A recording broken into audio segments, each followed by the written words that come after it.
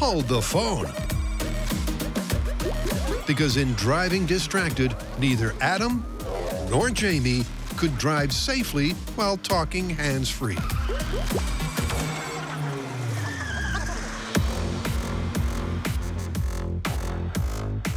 But now, in a location way more sophisticated, it's locked. It's time to up the ante. Jamie and I have realized we need much more controlled, scientific, and realistic conditions, which is why we've come here to enlist the help of the experts at the Stanford University Automotive Innovation Facility. When we asked for their help in getting more realistic, they showed us a virtual world. Come here. This is their state-of-the-art driving simulator. It is awesome. From the front seat of this car, you are completely immersed in a world controlled and designed by a computer into which we can add all sorts of traffic, pedestrians, obstacles, and surprises for all of our test subjects. That's right, many, many test subjects while we get to the bottom of this myth. It's a multi-million dollar machine. All right, then. Going for a drive in the simulator which Jamie can't resist turning up to 11. Okay, here we go. I want to go the other way.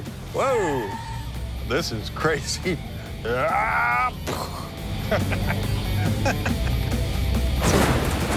crazy driving aside, this driving simulator is actually very good. Yeah, get out.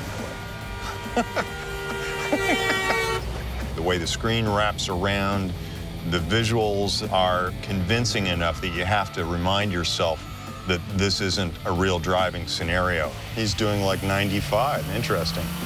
We'll see how he likes this.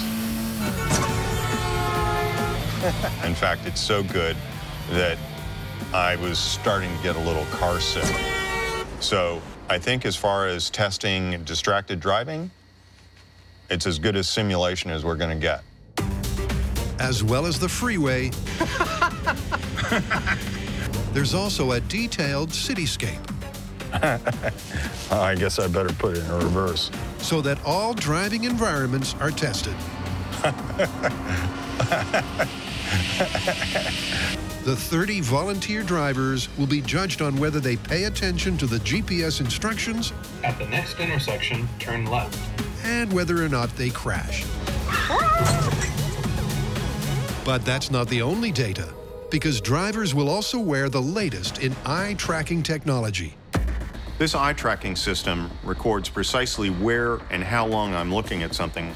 Now, that's going to give us hard data as to the level of distraction that I'm experiencing while I'm driving. With eagle-eyed Jamie all wired up, he's going to be the first data of the day. All right, calling him now. And a Hyneman that's got his hands full. Hello. Good morning, Mr. Hyneman. Are you ready to start this test? I'm ready.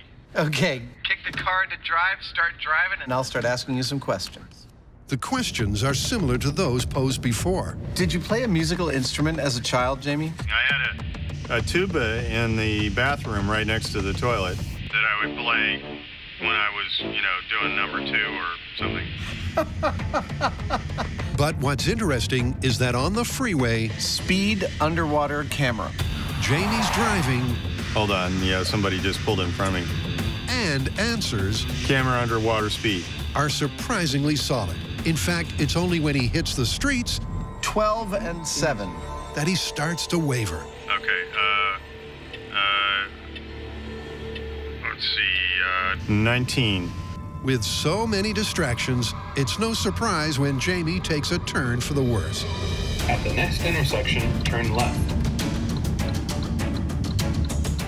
taken a wrong turn. And that means that the test is over. You have failed. Okay. With no rest for the wicked, Jamie immediately moves on to the hands-free test. Hello. What is the longest running race in the Olympic Games called? The longest running race in, uh, in the Olympic game is called a marathon. A marathon? Marathon. You mean marathon? Yeah. Okay. Once again, Jamie's focused on the freeway, but struggles in the city as his brain tries to process the traffic and the conversation. The Earth is located in what galaxy? Uh, the Um, You know, I don't know the answer to that question. Like last time, At the next intersection, turn left. Jamie doesn't crash, but he does ignore the GPS, oh, s- I'm sorry. I, I screwed this up. meaning he's failed again. Well, the long and the short of it is that Jamie has done this test twice in our virtual environment, once holding the phone, once hands-free, and he has failed both times. It's looking pretty good for this myth, but we are not leaving it here. No, no, no. We're going to funnel a whole bunch of volunteers through this testing procedure to get some real numbers to back up our potential conclusion. First of the 30 volunteers is Tiffany, who will be driving hands full. The first thing I want to know is what musical instrument you played as a child. None. On the freeway, her driving is solid, Logic questions. and her answers are perfect. Name four days that start with the letter T. Today, tomorrow, Tuesday, and Thursday. Excellent. But moments after hitting the city, How much dirt is. Oh. We just ran down a cyclist. This test is over. next up is Michael. Hello? And hands free, he's fine on the freeway. What is something you have at home that you should throw away, but you can't? Oh, my old computer. I still have one that got built in like 95. But deadly downtown. Um, which country? As the oh ah, I, I believe that might be the end of our test there, Michael. Where did that come from? Thank you very much, sir. When the next four volunteers also crash and burn, it's looking good for the myth. Stop the car and please, license and registration, ma'am. And although driver seven does make it through the course intact, All right, uh, congratulations. You have successfully completed the test. nearly all other drivers, whatever their phone fashion, either get lost Uh, Ron, I am sorry to inform you that you have now missed a turn, and thus the test is over. or worse. Oh, we had a crash, didn't we?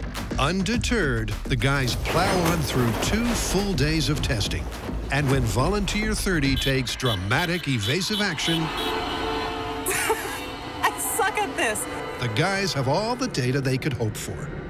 All right, we have run a lot of volunteers through this experiment. We've got a lot of data to take a look at, so it's time to leave this virtual world, drive through the real world, back to our shop, and crunch the numbers.